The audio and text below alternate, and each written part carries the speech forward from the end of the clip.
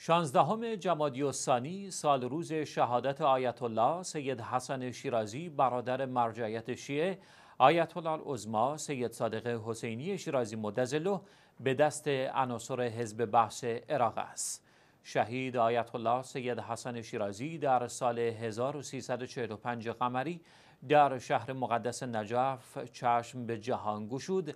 و پس از تحصیل علم نزد اساتیدی چون پدرشان آیت الله العظما سید میرزا مهدی شیرازی برادر بزرگشان آیت الله العظما سید محمد شیرازی آیت الله العظما سید محمد هادی میلانی و آیت الله العظما شیخ محمد رضا مسجد شاهی اصفهانی به درجه اجتهاد رسید.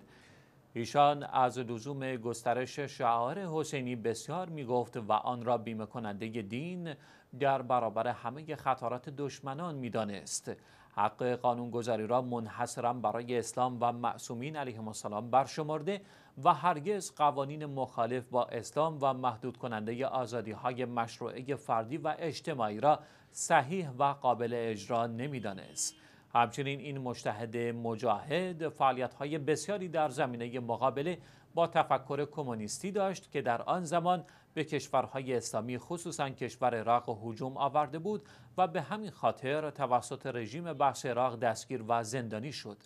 این شهید بزرگ پس از آزادی از زندان فعالیت‌های خود را گسترش داد که از آن جمله می‌توان به تأسیس و راه اندازی چندین مسجد و مرکز اسلامی در کشورهای مختلف اسلامی و همچنین مدارس حوزوی که از مهمترین آنها حوزه علمیه زینبیه در دمشق و مدرسه امام مهدی عجل الله تعالی فرجه شریف در بیروت لبنان هستند اشاره نمود که همچنان در حال فعالیت و تربیت طلاب و علمای شیعی هستند. سرانجام آیت الله سید حسن شیرازی در تاریخ 16 جمادی الثانی زمانی که قصد شرکت در مراسم یادبود شهید سید محمد باخر صدر در لبنان را داشت